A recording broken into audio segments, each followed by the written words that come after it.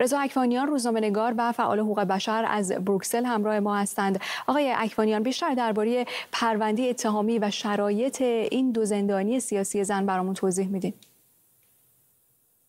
بله خب من عرض کنم که در واقع ولیش مرادی و پخشان عزیزی از جدیدترین قربانیان سیاست های جمهوری اسلامی هستند که با خطر صدور حکم اعدام مواجه هستند. ولیش مرادی رو خب ده مرداد بازداشت کردن بردن بازداشتگاه اطلاعات سنندج. بعد دو هفته هم بردنش بند 209 بین یا همون بازداشتگاه وزارت اطلاعات. پخشان عزیزی رو هم سه روز بعد ایشون یعنی 13 مرداد توی تهران بازداشت کردن بردنشون بند 209 بین.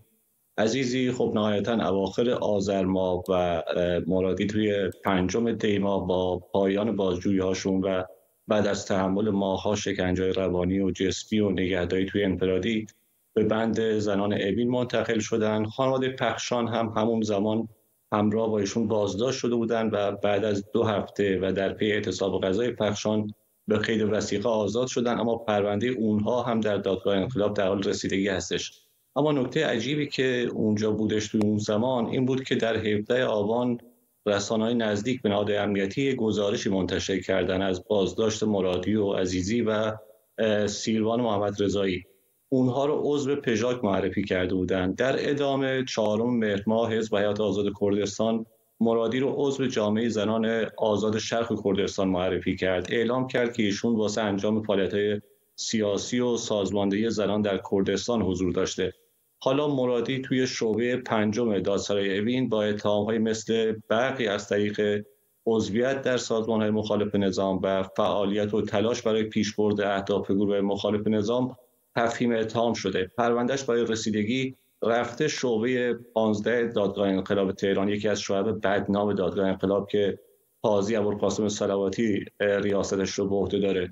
عکس ها و فیلم ها و مصاحبه هاش در واقع در زمینه فعالیت های اجتماعیش به عنوان مصداق این اتهاماتش قرار گرفته. پخشان عزیزی هم توی شعبه پنجم دادسرای ابین با اتهامات مثل برقی از طریق عضویت در سازمان های مخالف نظام و تلاش علیه امنیت داخلی کشور تفهیم اتهام شده. پرونده ایشون هم برای رسیدگی به رفته به شعبه 26 دادگاه انقلاب تهران که قاضی ایمان افشاری ریاستش رو بر عهده داره. کیفر خواست پرونده های مرادی و عزیزی؟ خب توی دادگاه انقلاب صادر شده ولی هنوز تاریخ برگزاری دادگاهشون مشخص نیست و باید هشدار بدیم که اونها هم با پرونده سازی های سنگینی علیهشون انجام شده با خطر صدور حکم اعدام مواجه هستند. مثل حدود چهل زندانی سیاسی دیگه ای که همین الان خب زیر حکم اعدام هستند ولی لازم روی این پرونده سازی بودن برای اونها تاکید کنیم. چرا که نگاهی به زندگی فعالیت های اونها به ما میگه.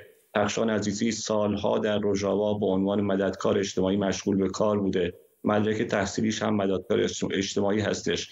در ایران هم با آوارگان رسیدگی می‌کرده در کمیته های مطالعات زنان هم فعالیت داشته. ولیشه هم 2014 یک دوره توی جنگ کوبانی بوده.